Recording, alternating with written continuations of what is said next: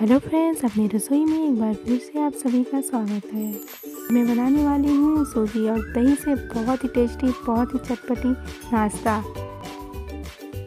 इस रेसिपी को बनाने में आपको कम से कम पंद्रह या बीस मिनट लगेंगे। तो चलिए दोस्तों, आज की मज़ेदार रेसिपी शुरू करते हैं।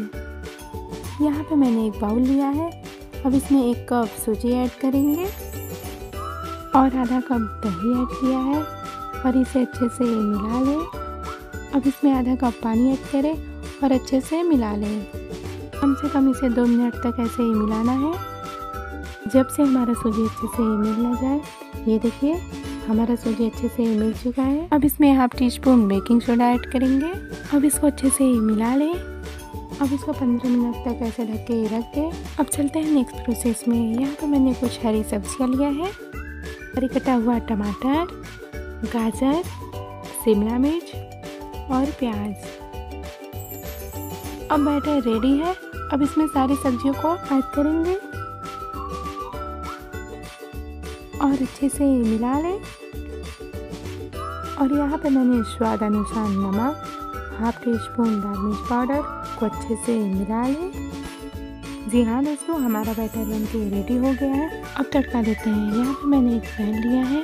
पैन में थोड़ा ऑयल ऐड किया है।